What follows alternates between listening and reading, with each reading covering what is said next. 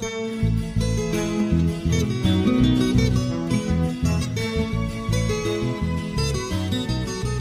Guayatá es un municipio situado al extremo suroriente del departamento de Boyacá. Fue fundado el 6 de abril de 1821 por Andrés de Medina Ramírez, alcalde de Guateque en aquel entonces. Su economía se basa principalmente en el cultivo de maíz, arracacha, plátano, café, yuca y demás alimentos. Se considera la mogolla guayatuna, la arepa cariseca y los cabullos como los platos típicos de este lugar. Es un municipio muy fiestero y en esta ocasión, al visitarlo, nos encontramos con las ferias y fiestas de San Isidro Labrador, cuales se celebran el segundo puente festivo de noviembre conoceremos un poco más de sus tradiciones y sus raíces guayatunas. A continuación, el alcalde de Guayatá, el director de la emisora de radio y un campesino 100% guayatuno nos hablarán respectivamente sobre qué significa para ellos ser de aquí y sus ferias y fiestas. Estamos celebrando la versión 81 de las ferias y fiestas en el municipio de Guayatá. Estas se caracterizan en nuestro municipio por ser la máxima expresión cultural, artística, eh, en torno a una actividad religiosa que es la fiesta de San Isidro y en torno a la feria feria ganadera. Guayatá es un municipio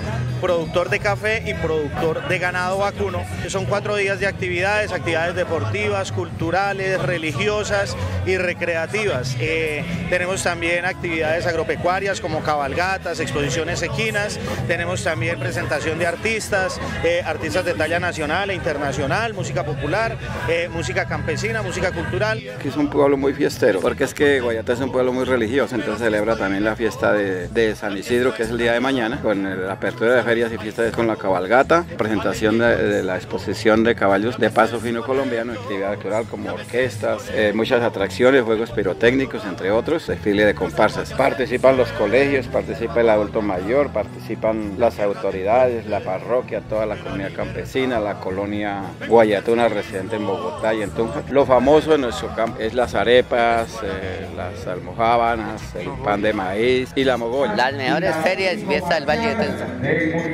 La tradición de acá es la mogolla guayatuna, las arepas, las empanaditas, la chicha, que no haga falta, hermano. La tradición, hermano. Tradicional de los campesinos. Traen muchos productos de cada vereda, lo que siembran en la vereda y todo. Porque soy sencillo. Por último, cabe mencionar que las fiestas tienen diferentes significados para los turistas y residentes, pues para muchos son un tiempo designado para la diversión y el descanso, pero para otros es una oportunidad para trabajar y ganar un dinero adicional.